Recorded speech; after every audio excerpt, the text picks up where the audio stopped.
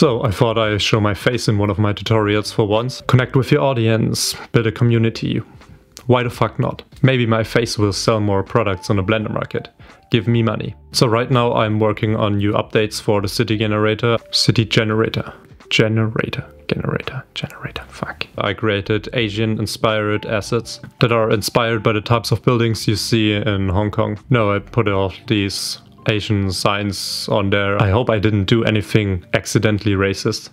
If you feel offended by anything, uh, I don't care. Please don't cancel me. But in this video I want to show you how I created a city generator, at least uh, some of the very basic techniques for it. So here is how you can create a procedural building with geometry nodes in Blender. So let's start with a new file in Blender and let's add in a plane. Let's make this a little bit larger, 20 meters, let's say, let's say 40. And let's create a little bit more of a interesting shape. Let's extrude some edges here. So this plane is going to be the foundation of our building. By the end of this, with this procedural setup, we want to adjust the plane and automatically the building will contain the shape of the plane right here. You're also going to need some facade assets. These are a bunch of assets I created for the new city generator update. So I just grabbed three of them that belong together. Um, I'm not going to show you how to model these. There are a bunch of tutorials on modeling. Just make sure that these facades are all the same scale. And I made them with the dimensions 3 by 3 meters. So math will be a little bit easier later. I also going to grab all of these ground assets right here. Bring them into our scene right here. And let's put these facade assets into their own collection. Let's call this facade assets and let's grab all of the ground floor assets and put them into a collection and call it ground floor assets. And let's get right into the geometry nodes. Let's open up a new tab, go to geometry nodes, new setup. So the first thing we want to do is just make sure that we have only selected the outer edges of the plane.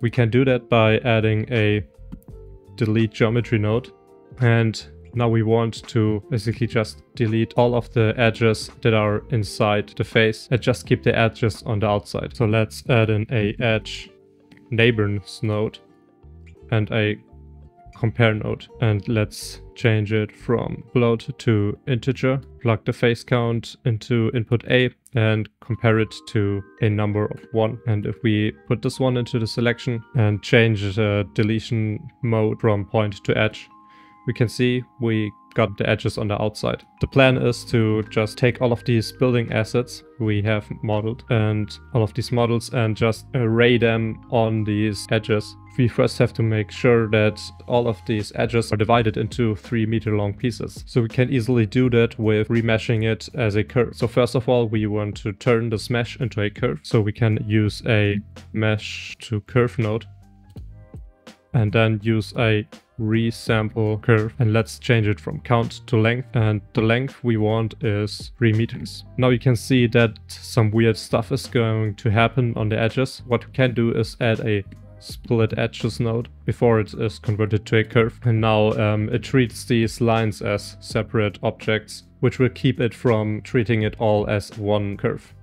Now what we want to do is convert this back to a mesh so we can add a curve to mesh node and now we can add a mesh to points node and we want the edges to be our points. Let's increase the radius so we can see what we're doing. Now you can see that all of these points are basically 3 meters apart from each other. If your assets are not 3 by 3 meters, you basically just put in the numbers of the length of your assets in here. So now we can add a instance on points node and our instance is going to be our facade assets collection. Drag and drop the collection in here and let's plug this in our instance. Let's check relative, separate children and reset children. So the next step is we want to get them to have the correct rotation. So the way we're going to do this is by using the original mesh, using a extrude node on top of it. Let's uncheck individual so it will not do this weird stuff with uh, edges in the middle, but just treat it as one extruded plane. Then we want to separate only the edges on the side. let's use a separate geometry node, change it to face and use the side faces as selection. So now you can see we just have the side faces right here. And now we want to use the normal of these faces and basically put the normal as the rotation of all of these facade assets. So let's use a sample nearest surface node and here we can put in our selection and add in a normal. So the attribute we want to capture here is a vector, or normal. So let's put in the normal into the value. And now if we put this one into the rotation of our instances, things are a little bit messy because we need a align Euler to vector node, put it into the vector and change it to y, to the y-axis. So let's add in a rotate rotation node, set it to local and rotate it 180 degrees on the z-axis. You can see if we adjust the mesh, it will automatically add in new facade pieces.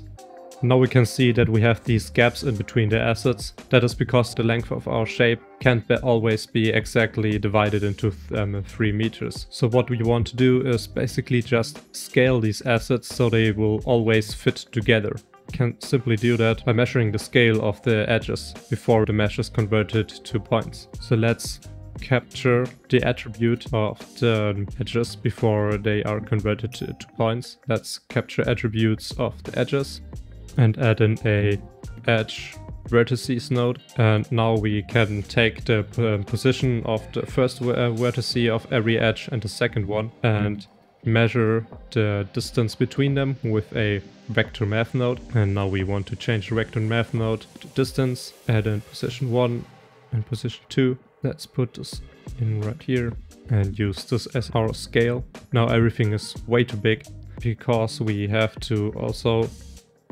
divided by the number of our length. We can just type in 3 right here. Now you can see everything fits in perfectly together.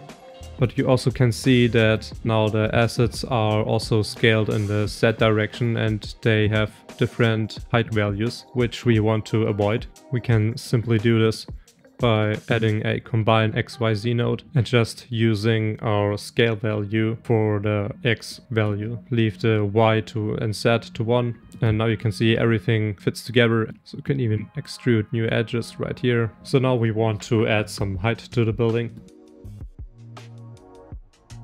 What we can do to do this is duplicating the points in the Z direction.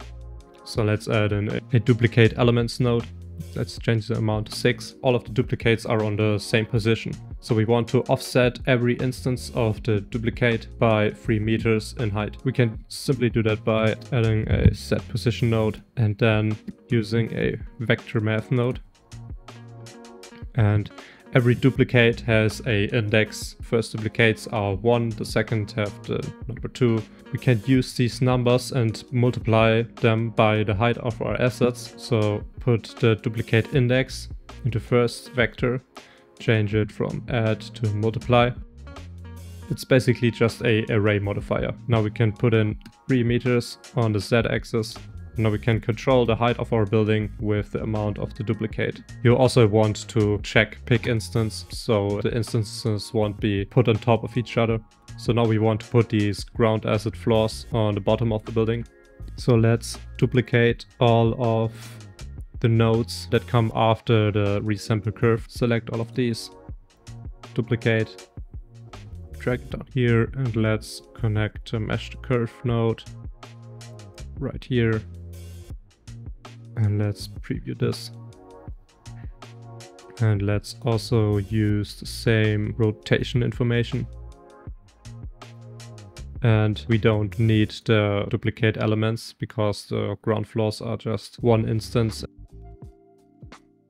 And now we want to replace these facade assets with our ground floor assets. And now the ground floor assets have a different scale we can see that these assets have a x dimension of 6 meters. So let's change the length to 6 meters and also divide the size by 6 meters and now you can see that they fit in perfectly. Now we can join this back together, add an adjoint geometry node and join these with our facade assets. Now they are intersecting with each other So just add in a set position node after the facade assets and offset them by the height of your ground floor assets. So right now the roof is empty and we want to add our original plane just on top of all of these assets. Back up here, add in a join geometry node before it is going to be offset for the ground floor and join our original geometry.